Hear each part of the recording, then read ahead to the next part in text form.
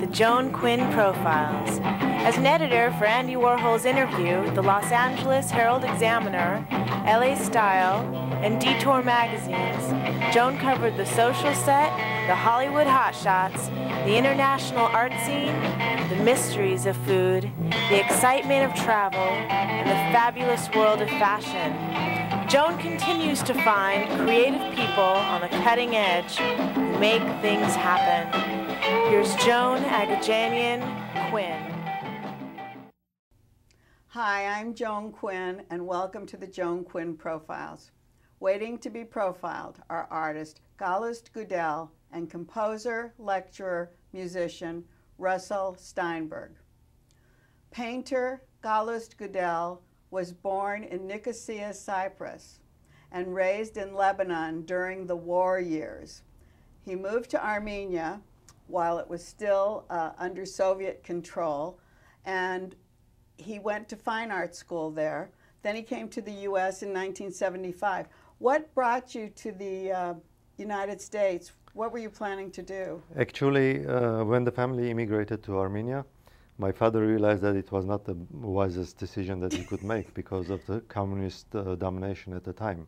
So he went from Be Beirut, Um, or from Cyprus to Armenia, then Oh. from Lebanon. So Oh, we went to Lebanon in order to start the immigration process oh, so to come went, to United States. You went from Cyprus to Armenia. Right, and I that's see. how we end up being part of the civil war at the time.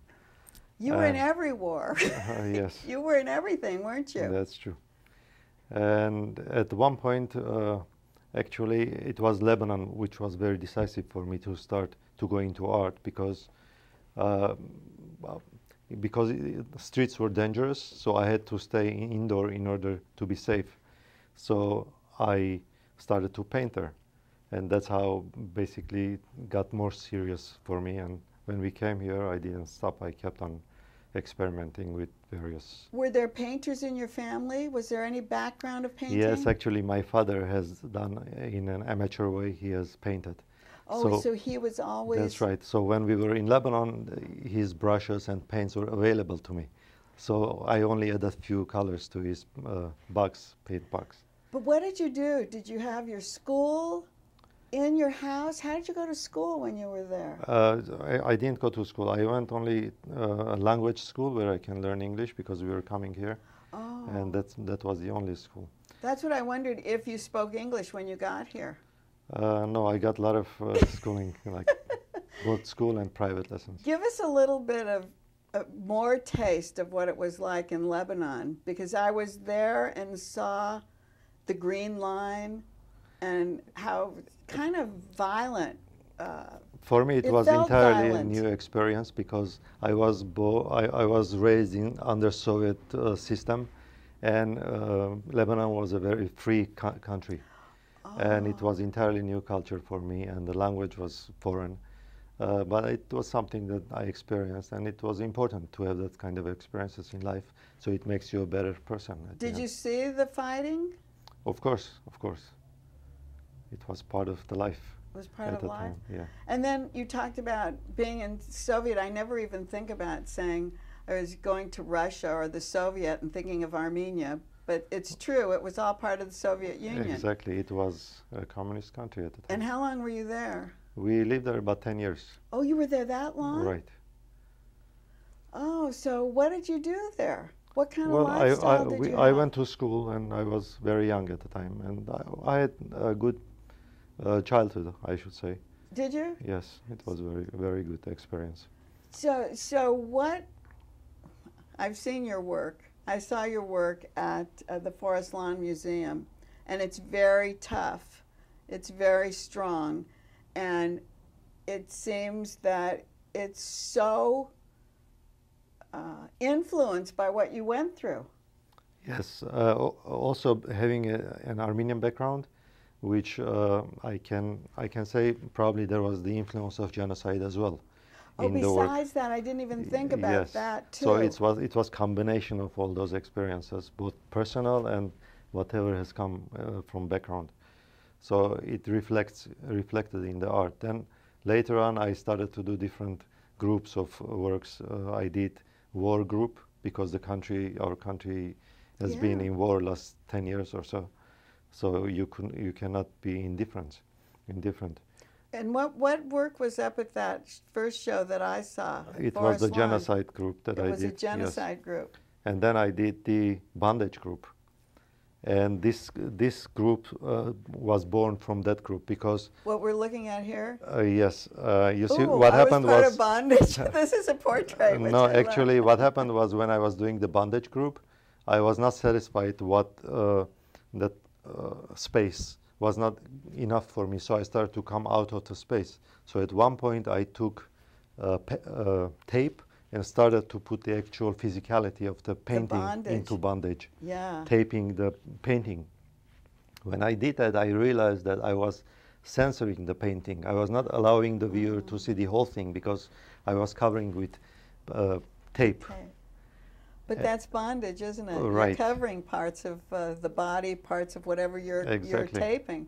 And then uh, that kind of opened a new perspective for me. I started to go to uh, Google News and take uh, mm, the headlines from the news, right on the canvas, and then cover part, parts with uh, paint instead of uh, tape. What I was going to ask is what materials did you use? And you use an abundance of materials. Right. Because the, the genocide were actually sculptures, weren't they? Actually, they were kind of digital collaging Oh, because wow. I took heads and kind Heads, of yeah. manipulated. But did you have actual, the head actually there? Yes, actually, I used. did, because I remember that. So I went, oh my gosh, this is so disturbing.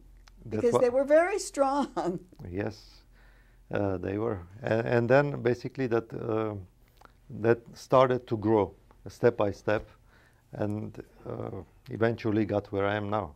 But but tell us about what you used when you said you used the heads and you used uh, different it was materials. uh, photography based.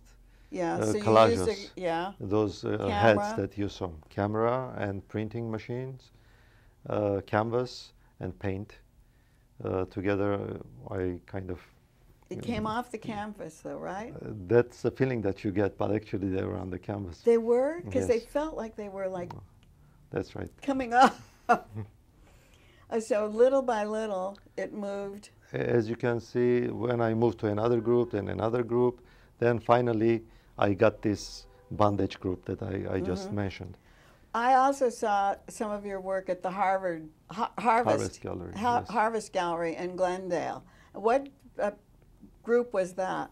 That was again uh, the first group that I did, the genocide group. Was it? It was. Uh, It, right. It somehow didn't seem as strong to me there as it did. Maybe the pieces were bigger in the first gallery, and the Mm, That's right. yeah.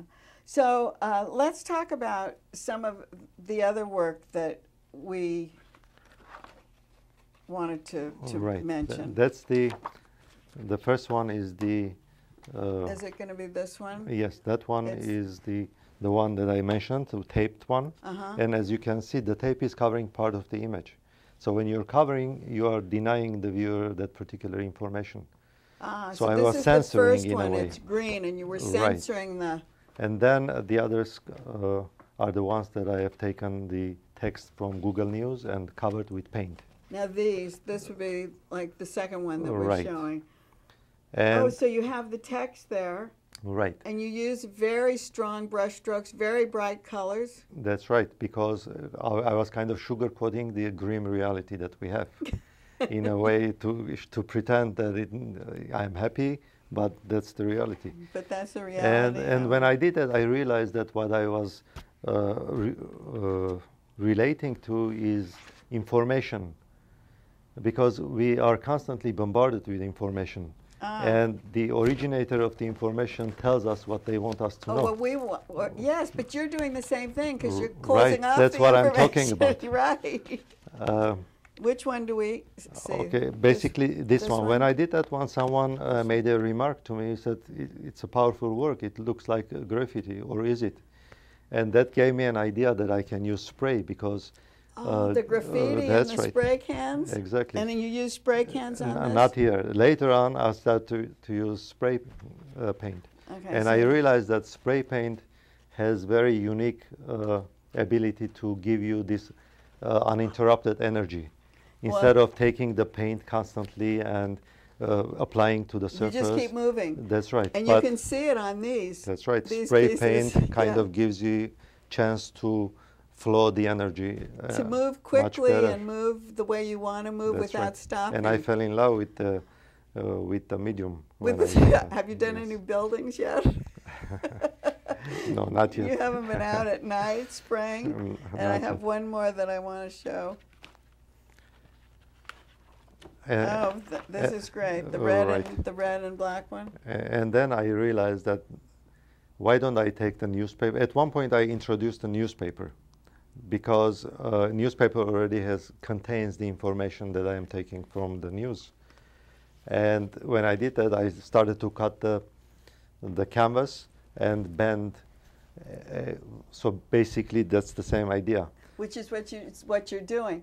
So, how do you describe your work? It's a it's a relationship it, a relationship between uh, information uh, Uh-huh. between facts and fiction, basically. From the very beginning, would you say? Like with the genocide pieces and the bondage pieces, and now the spray they cans. they they brought me here. Those were the steps that you grow. Those were the steps, and, did you were those all called the same? Would you describe? no, they were they different. were, so they were different. that's right. So those were different periods that I, I had to go through in order to, to get here. they're abstract, but they're really representational too. Because this, this is fantastic. This is the first time I've seen this. So this is a portrait that Kaloust did, and he's got the outline of the That's right. Your profile. profile, and then when he was talking about bending, you've bent this back, That's right. and it's like the inside of me. That's out. right. Basically, uh, the, the first layer had your painting, and then the second layer is kind of covering whatever there was originally. Uh, which is what you Uh, like to right. do, so And- that you're hiding something. exactly.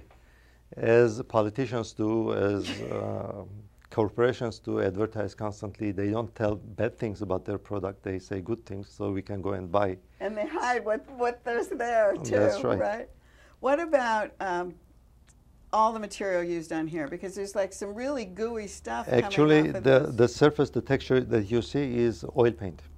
oh, It's very thick oil paint, and then I also I have used spray on this. Mm-hmm. Uh, and uh, so there are various materials. I never limit myself on the material because uh, sky's the limit. You should be able to use anything you, that you think. what about needed. archivally speaking? Do you ever worry about that? No, these are good. These are traditional materials. Yes, Yeah. I, I do consider the life expectancy of the painting of the work.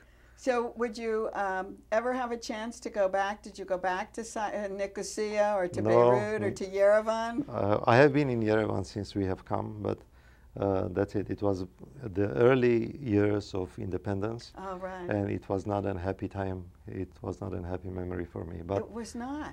no, it was it was very difficult for for the people who were living there. But now I hear good things, and I am happy that the life has improved So, what them. you've recreated are your own times. And if you went, but maybe if you went back now, it would be totally different too, what your paintings would come out.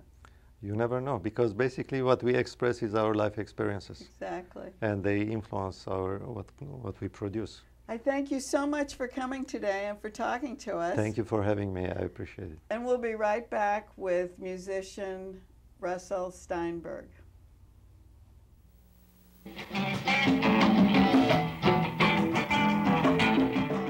Hi, I'm Joan Quinn, and welcome back to the Joan Quinn Profiles.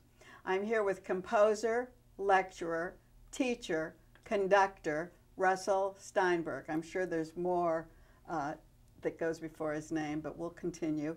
He was born and raised in Los Angeles. He earned a Bachelor of Arts at UCLA, a Master's in Music from the New England Conservatory, and a PhD from Harvard. And he looks so young and he's so smart, and I can't believe he's done all of this in his life. How did you get involved with music? Was it in your family? Uh, it was only in my family slightly. um, I think I think I really got involved with music possibly because of television. Uh, I think when I saw those Leonard Bernstein young people's concerts, that was really what changed my life. Starting starting with those, seeing seeing Leonard Bernstein conduct the old- Beethoven's Fifth. How old were you? I was very young. You know, they would read broadcasts. yeah, but I mean, like Yeah. six or seven. Yeah, or- no, about seven or eight. I came late to music. You really did, Yeah, and you know late. so much. Were you playing the piano at at that age? I was just starting to play the piano. Yeah. Oh, and then watching Leonard Bernstein. I think Did I it fell. inspire you to be a conductor or a composer? You see, that's that's kind of what makes me different. I, I think I liked Leonard Bernstein, but it wasn't Leonard Bernstein I liked. It was Beethoven. oh, it was And so I don't think I fell in love with Leonard Bernstein. I fell in love with the music.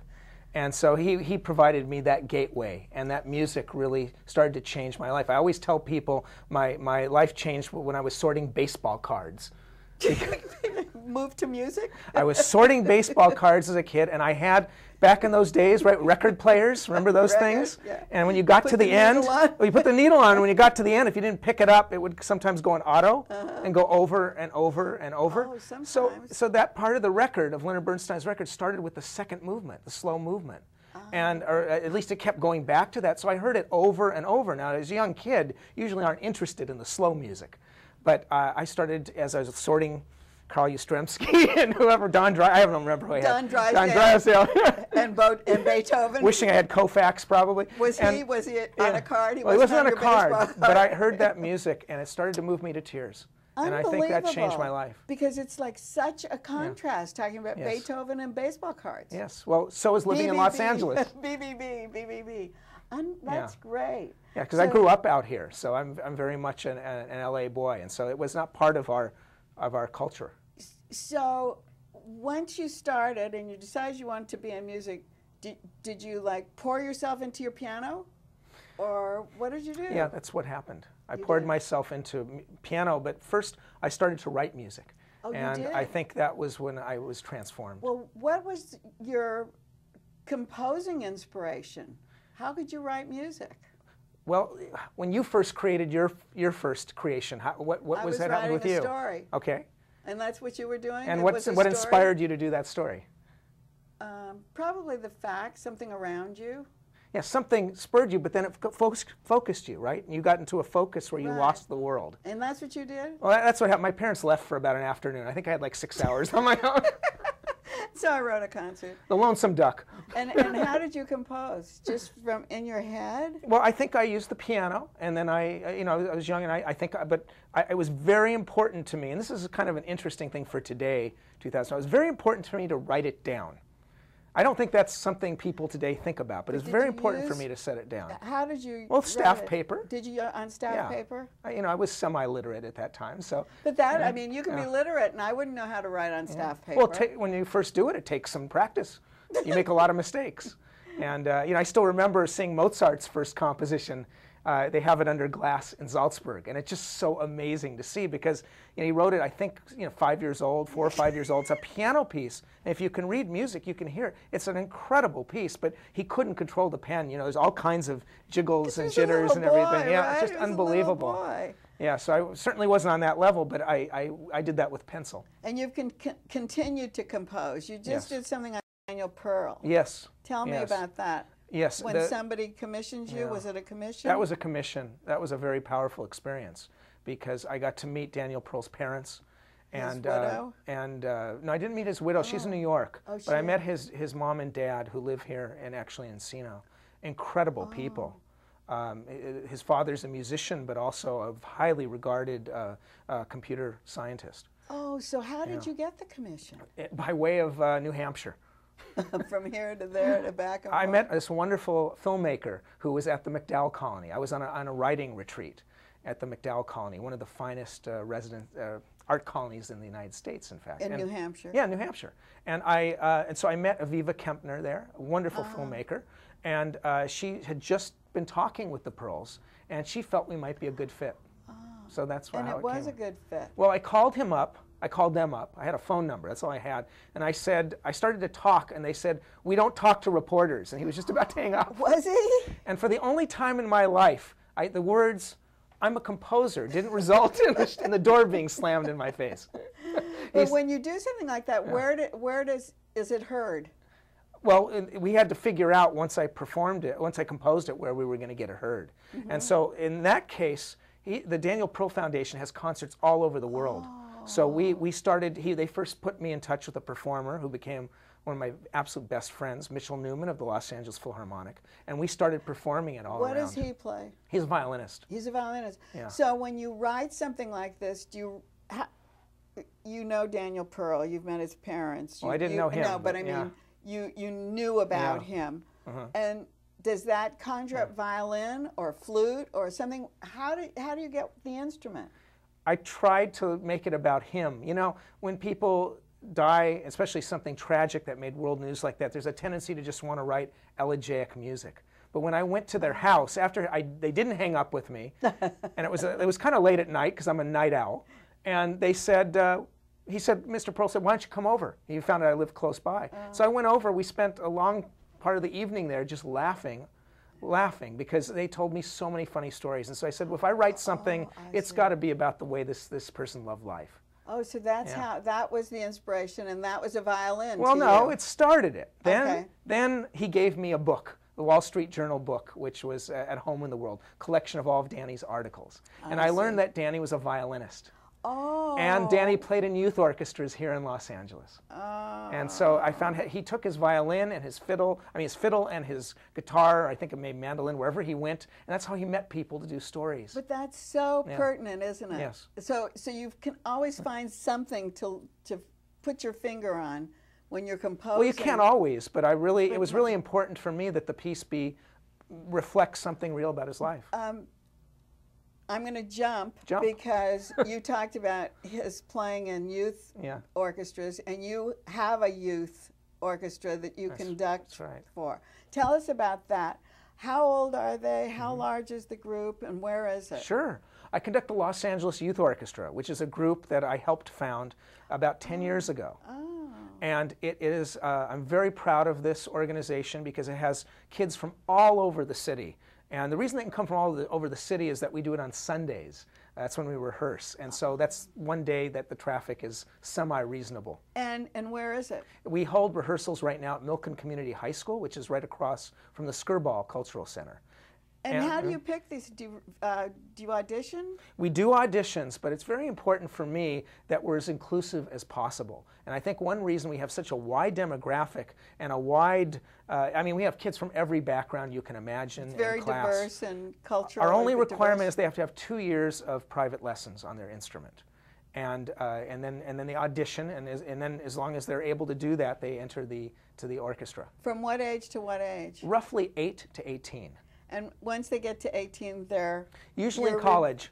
you're you're re, you're replenishing. It's a the group? constant recycling Is it all experience. But I got to tell you, Joan, just uh, just last week I went to a concert at UCLA, and I sat down, and then there next to me was this very tall boy who uh, was in the UCLA Honors String Quartet, about to graduate, and uh, he was my very little violinist when he was in You're the group just about four or five years ago. So he followed his passion all the way through. no, he discovered his passion. He didn't know he wanted to be a musician. when It he came just- to you, he didn't know? no, it was just in his last year in the orchestra. I think he was going into math or science, and suddenly something clicked. It was really beautiful to see that. And those stories happen a lot. How many do you have? We have about 90 kids, 80 to 90 kids. And do you know them all individually? You must. I'm, no, I do not know them as well as I should because we work hard. So we don't have a lot of time to socialize, but I do get to know a good number of them. Like, for instance, this next concert, Yeah, April, tell me about April that. 1st and 2nd, is going to feature a flutist we have who's graduating, and she is really unusual. She's been blind since birth. And blind musicians are very common, but not in an orchestra, because how are you going to follow the baton? How do you? Well, we had to invent it. So she found someone, uh, one person in the West Coast who transcribes music into Braille. So she, first of all, how did she take lessons on the flute? Is that more difficult than, say, the piano or something No, like that? no, not, not more difficult, but she had to do everything by ear. So think about orchestra music. Well, she did it by ear, yeah, you- well, she, then she has to, yeah, she has to have someone, she has her teacher record the part, and then I she has some she- part of the part written out in Braille, so I she can read it that way. But she, different than other kids, she has to memorize the spaces in between the music. You sit with me in concerts. You, you, you see how many times those wind players just sit there doing nothing? I know, and I don't know what everybody's doing. I, I sit behind you sometimes, and Yeah. it's like, what is what is Russell thinking? I'm always going like, what does Russell think about what just happened? Well, what I think about, I don't know, but what, I'll tell you what the wind players are thinking. I better not screw up and come in late. And so Kira, Kira has to has to memorize all of those places and figure out when to come in. And then we have to have someone tap her gently for entrances so that Oh, she is can that be. how they do it? That's that's how they do it. That's how That's we're how inventing you do it. That's how you It's do it. It's a very interesting process. We're very proud of her. so what do they play? The orchestra? Yeah. Oh, what the music? Youth, yeah. Oh, okay. Well, well, we have two groups, two levels, and the top level does the same repertoire you hear at the Philharmonic. You know, we, we're doing Schubert's Unfinished Symphony, uh, Ah. wonderful piece, Mozart's Don Giovanni, and Kira's going to. This is her last year, so she, we're going to feature her in a solo piece. I've arranged. Then I have a, the younger orchestra does arranged pieces I do, uh, including Mendelssohn and um, you know different different uh, different. uh, See, pieces they have to go, they go and home things and like learn that. it all. You No, they it have to go them? home and learn it, and then we work very hard. I work with one orchestra on stage and the other orchestras and sectionals with very wonderful trained coaches. And that's all on Sundays? yes, So yes. you're like really intense very on intense. Sundays. Yeah, their Sundays. That's one reason I admire these kids so much. They're taking one of their only free days, and they're working harder in that day than they do in most school You're days. director at the Stephen Wise Music Academy. Yes. Is that right across the street? Yeah, that's that's a, that's associated with the Milken Community with the High School, right. and that's the music program uh, that I uh, that I began there. And so, do you still go to? Do you I'm still teaching there. In You fact, today? Today I was just teaching advanced placement music theory. Oh, you do. know, so how often do you work there? Well, you know, so I work there on half the days, and then you know you've seen me doing concert lectures, and I Which compose. is fabulous at Disney Hall. Yeah. You're fantastic. Thank you. And one thing. My audiences are great. Before we leave, how can we keep this uh, music alive? Because this is really important, and everyone doesn't have the ability to know you or to be excited by what you do or how you teach. Oh, I'm easy. You go on my website, and you can you can get all that material. That's I very know that's great because you have a series at Milken. Well, I have a series at Milken, and I put a lot of information on the site. I've been I taping some of my it's lectures. great to do that. And But I taping, want you to. can But what I want to talk to you about that's so important. Everyone talks about keeping classical music Right, alive. that's right. One thing that I don't hear people focus on are the listeners. You know, I'm a composer. Writing music is very important to me, and I started to realize people can't hear Beethoven. So how are they going to hear my music? And I think that eh, one important thing about keeping music alive is helping people who listen have a comfortable context for it.